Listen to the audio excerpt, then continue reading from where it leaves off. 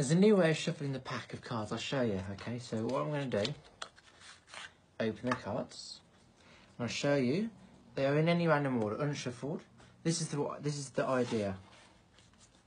Get the cards, place them inside the box.